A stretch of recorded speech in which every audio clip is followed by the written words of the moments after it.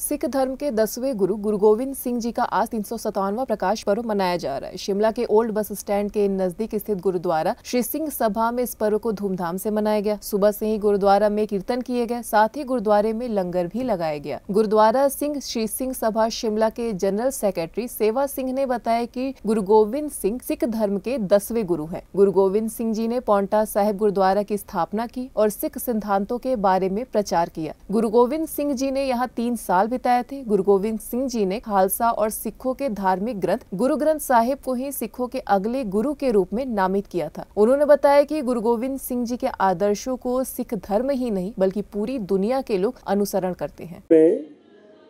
बारह तारीख से लेकर सोलह तारीख तक फेरियाँ निकाली गई हैं। और इस गुरपुर पर, उचित तौर पर, भाई साहब, बलजीत सिंह का रागी जथा लुधियाना से कीर्तन हाजिरी पढ़ने के लिए यहाँ पहुँचे हैं।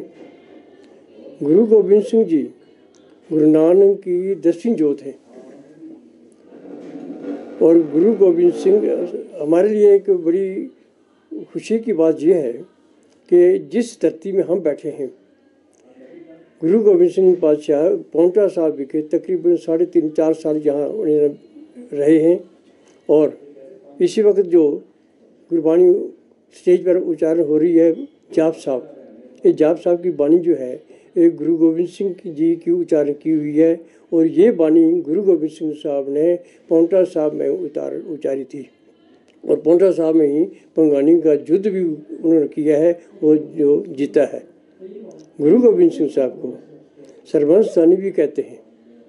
सर्वंस्थानी इसलिए हैं, उन्होंने नौ साल की उम्र में अपने पिता साहिब श्री गुरु तेग बहादुर साहब को दिल्ली भेजा, उत्साह दिया, इसलिए कि कश्मीर के पंडित उस वक्त औरंगज़ेब जो है उनको दुखी कर रहा था, धर्म छोड़ने के लिए बोल रहा था कि आप इस्लाम में आ जाओ। नहीं तो उनके कई हज़ार पंडित जो थे मरवा दिए गए और उनके जंजू उतार दिए गए।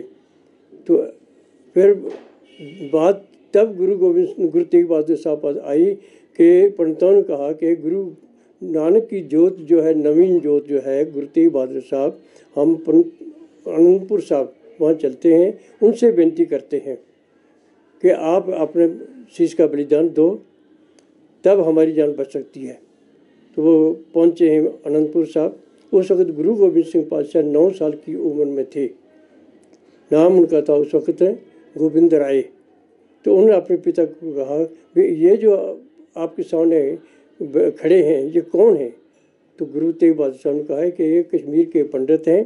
इनको रंग जो है मुसलमान, वो इनका धर्म बदलना चाहते हैं, मुसलमान बनाना चाहते हैं।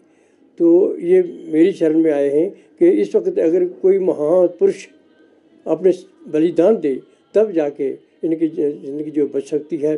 तो गुरु गोबिंद सिंह ने अपने पिता गुरु तेग बहादुर साहब को यह लफ्ज़ उस वक्त इस्तेमाल किए थे कि आपसे बड़ा महापुरुष पुरुष इस वक्त संसार में कोई नहीं है तो आपको ही बलिदान देना पड़ेगा। तो गुरु तेग बहादुर साहब ने फिर दिल्ली जाके अपना शीश का बलिदान दिया, तब इन पंडितों की खलासी हुई थी। गुरु गोविंद सिंह पातशाह, हमारे सिर्फ़ सिखों के लिए नहीं, बल्कि सारे संसार के लिए एक गुरु ग्रंथ साहब जो है क्योंकि गुरु गोविंद सिंह गुरु नानक साहब से लेकर गुरु गोविंद सिंह तक दे तारीख गुरु हुए हैं। लेकिन गुरु गोविंद सिंह साहब ने, गुरु ग्रंथ साहब ने एक गद्दी दे दी कि आज के बाद कोई दे तारीख गुरु नहीं होगा। गुरु संत ग्रंथ साहब को अपने गुरु मानना है। गुरु ग्रंथ जी मान्यो, प्रगट गुरुओं की दे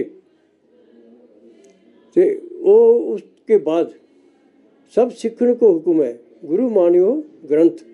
गुरु ग्रंथ जी मानियो, प्रगट गुरा की दे तो उसके बाद सारे संसार में इस वक्त तक ये दाद जो गुरु गोविंद सिंह ने हमें दी है, हमें उसके लड़ लगाया है, वो गुरु ग्रंथ साहब है। एक भी यहाँ बात करना चाहता हूँ कि हमारे देश का सर्वोच्च जो कोर्ट है, वो सुप्रीम कोर्ट है। सुप्रीम कोर्ट ने भी एक रूलिंग दी है कि श्री गुरु ग्रंथ साहब सिखों का इससे लिविंग गुरु आती Sikhs Guru Granth Sahib is the living guru of the Sikhs. तो गुरु गोविंद सिंह का आज हम उनका ये प्रकाश दिवस मना रहे हैं। सुबह पाँच बजे से प्रोग्राम सारा शुरू है। दो बजे तक चलेगा। गुरु का तो लंगर बरतने हैं और शाम का दीवान भी जो है तकरीबन दस, साढ़े दस बजे तक चलेगा। तो यहाँ तक मैं अपने ख़त्म करता हूँ।